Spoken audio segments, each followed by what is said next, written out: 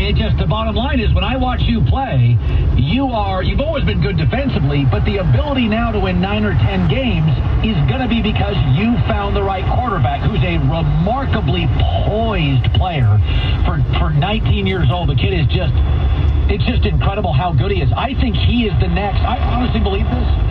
Next year, it's going to be Trevor Lawrence at Clemson and Justin Fields, Ohio State. I think the following year, your quarterback's going to be the number one pick potentially. Do you think he has that talent?